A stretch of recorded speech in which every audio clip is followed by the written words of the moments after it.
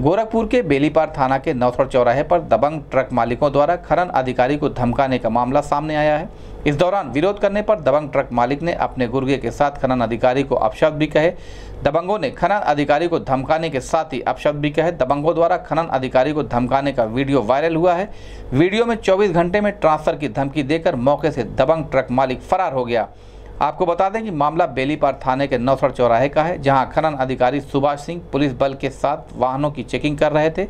इस दौरान बालू लदे ओवरलोड ट्रक को खनन अधिकारी ने मौके पर पकड़ा। इस बात की जानकारी होने पर मौके पर पहुँचे ट्रक मालिक और उसके गुर्गे ने ट्रक छुड़ाने को लेकर खनन अधिकारी के साथ बदसलूकी की। इस संबंध में गोरखपुर न्यूज़ संवाददाता से बात करते हुए खनन अधिकारी सुभाष सिंह और एसपी सिटी डॉक्टर कौस्तुभ ने कहा।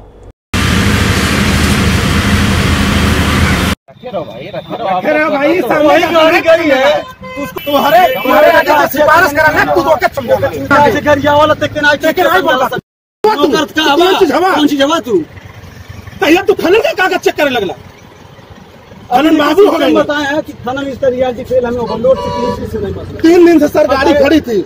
आज किसी तरह से किसी तरह से उधार अरे गाड़ी तक के गाड़ी खाली करवा यही लाख चक्कर है क्या क्या बच नहीं रहा हम खुद नहीं चलवा रहे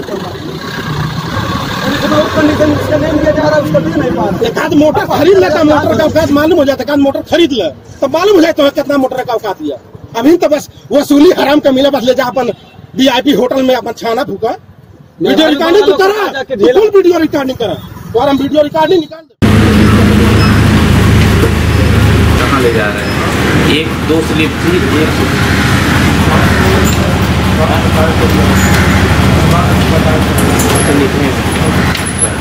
तो इसमें वही चीज़ ओवर राइटिंग प्लस एक स्लिप में डेट समय लिखा ही नहीं है उन्होंने अपने से लिख दिया उनकी जो भी बात हो अपना जाके न्यायालय में रखते हैं सर जी हमको एक ग्यारह दिया चार से नहीं करने लगा है चार फुटी साइज़ पीस हाँ हाँ ये क्या थी वही सर जो कर रहे हैं ना वो नहीं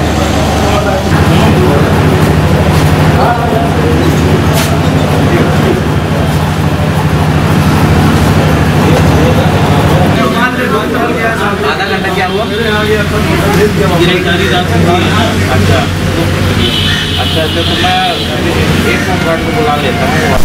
सुबह में आज हम सिपाही एक होमगार्ड के साथ चेकिंग में निकले थे ओवरलोडिंग और बालू की चेकिंग में कि वैध तरीके से है और क्या वैध तरीके से तो नौसठ तिराहे महिंद्रा एजेंसी के सामने हम पहुँचे एक ट्रक आता हुआ दिखाई दिया गोरखपुर की ओर आ रहा था हमने रुकवाया तो रुकवाने के बाद उससे मांग किया कि आप प्रपत्र दिखाइए बालू का लदा उसने प्रपत्र जो दिखाया तो वो ओवर राइटिंग छेड़खानी की गई थी प्रपत्र में। और दूसरे प्रयत्न में कोई डेट समय लिखा गया जिससे प्रूफ होता है कि ड्राइवर के द्वारा या वाहन स्वामी के द्वारा है, अपने से उसको एक ही रवन्ने को बार बार उपयोग किया जा रहा था। फिर फिर एक आदमी स्कॉर्पियो से आया और उसने हमें बिना नंबर के स्कॉर्पियो से आया और दबाव बनाने लगा कि ये हमारी गाड़ी छोड़ दीजिए, ये है, वो है। हमने नहीं छोड़ा। फिर दो, मुश्किल से दस मिनट के अंदर दो दो आदमी और आए बाइक से। बाइक का नंबर हमने तहरीर में दिया है। वो आए और उन्होंने भी वो किया। फिर हमने आरटीओ को बुलाया, इरशाद अली पीटीओ को बुलाया, उनसे ही ऑनलाइन चलान करवाया। फिर उसके बाद जैसे ऑनलाइन वो चलान कर ही रहे थे तो उसने वाहन स्वामी स्कॉर्पियो वाला और बाइक वाला तीनों मिल के मेरे साथ गाली गलौज करने लगे, बद्दी बद्दी गालियाँ, हाथापाई भी के हाथापाई करने लगे तो मेरे साथ तैनात सिपाहियों ने फिर बीच बचाव किया। और उसके बाद बारह घंटे के अंदर जान से मारने की धमकी दिया मेरे और मेरे परिवार को। और बारह घंटे के अंदर जान से मारने की धमकी और ट्रांसफ़र गोरखपुर से।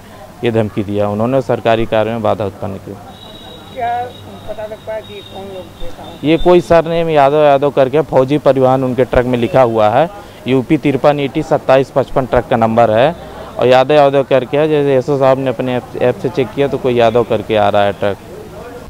ये सुबह खनन अधिकारी श्री सुभाष सिंह द्वारा ये जानकारी दी गई कि इनके द्वारा कुछ गाड़ियों को चेक किया जा रहा था जिसमें इनके साथ गाड़ी वाले, गाड़ी चालक जो लगा गया है पर बेलीपाल थाने में दो सौ बहत्तर